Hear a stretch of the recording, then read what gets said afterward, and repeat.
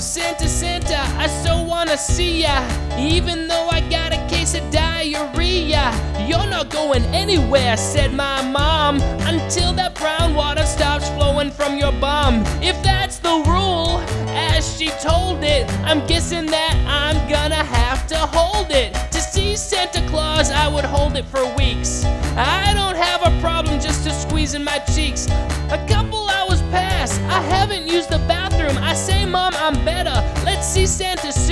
She says, Fine, we'll go see him at the mall. But if you gotta go poop, you got to do it in the stall. We get to the mall and I'm feeling just fine. I'm prepared to wait a while in this long line. Santa's at the end of it, so exciting, so fun. I've almost forgotten about my case of the runs. But then I hear a rumble and a gurgle in my tummy. I gotta go real bad, no, it's not funny. Oh, darn, oh, darn, oh, darn, oh, crap.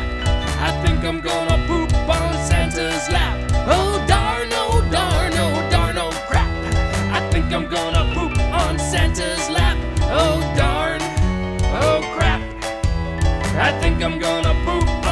Well, if you think I'd leave my place in line, you're out of your mind. I just reach with my hands and clutch my behind. I probably look silly to the other girls and boys. It's the price I have to pay to make sure that all the toys that Santa Claus leaves me under the tree are the toys that I really, really want to see.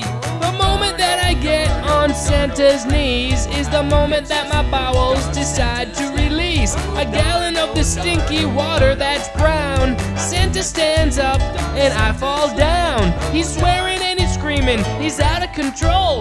So this Christmas morning, I'm expecting cold.